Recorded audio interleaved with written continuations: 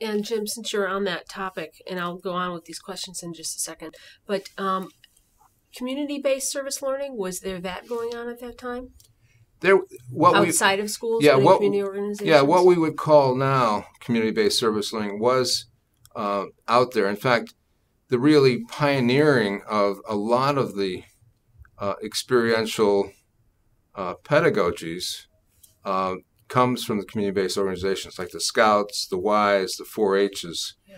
They they they had an applied learning model and oftentimes a service dimension with it. Uh, identifying it specific, but it was much more project-based and, and um, oftentimes there was not a contribution element to it or service element. But you're right that and and uh, and you see in in the in the kind of the laddering of the uh, the various levels within the Scouts, for example, an element of service all the way through. Uh, I would say that you know formal education has learned enormously from non-formal education, and frankly, we we learned uh, as I learned a lot from military experience.